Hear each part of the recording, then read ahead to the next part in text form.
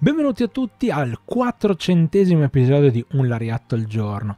In realtà ci stiamo lavorando da un 2-3 anni a questa cosa di Un Lariatto al giorno, non sono tutti episodi consecutivi, però ne abbiamo fatti 400 e dopo questo ci prenderemo una piccola pausa per poi portare avanti il nostro lavoro con gli ultimi 100 che abbiamo trovato, quindi arriveremo a quota 500 Un Lariatto al giorno, in modo tale da poter dare un numero molto elevato di storie che abbiamo raccontato all'interno del nostro percorso percorso che ovviamente ci hanno condotto fino a qui.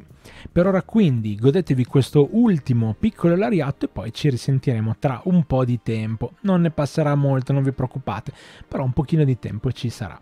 Oggi vi parliamo di una rissa tra fratelli. Per questo nuovo appuntamento, come sempre, ogni mattina alle 8 su YouTube e su Spotify dal lunedì al venerdì, un lariatto al giorno, 3-5 minuti, vi parliamo quest'oggi del rapporto strano tra Kawada e Misawa. I due ovviamente sono due delle colonne dei Four Pillars della All Japan Pro Wrestling e ovviamente hanno avuto tantissima storia insieme. Vi abbiamo parlato di come si conoscessero fin dalle scuole, insomma di tante cose che erano eh, diciamo che interlacciavano i loro rapporti in tantissime condizioni diverse. Una delle tante volte in cui hanno litigato beh, è capitata in un bar ed è capitato pure un infortunio all'interno della questione della rissa. Pensate, si sono messi a litigare e nonostante fossero presenti Akira Tao e Kenta Kobashi, i due inizialmente hanno provato a dividere Misawa e eh, Kawada, poi alla fine hanno desistito e hanno detto vabbè fate un po' quello che volete.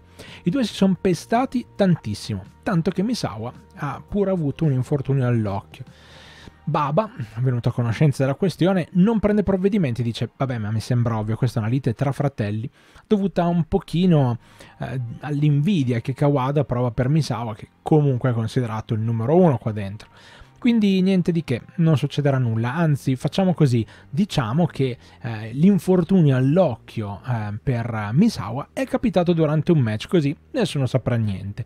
Anni dopo ovviamente salta fuori la verità grazie a un'intervista di Genichiro Tenryu che va a raccontare un pochino questo misfatto e a svelare un dietro le quinte abbastanza interessante e intrigante di questa rissa tra effettivamente fratelli come erano Kawada e Misawa. Grazie di cuore per aver seguito, dopo una piccola pausa torneremo con altri 100 lariatti, non mancate, perché sarà veramente bello e interessante poterveli portare e raccontarvi ancora tante belle storie di puro reso. Grazie di cuore per averci seguito, io sono Stefano, una delle voci di Lariatto, noi ci risentiamo, alla prossima!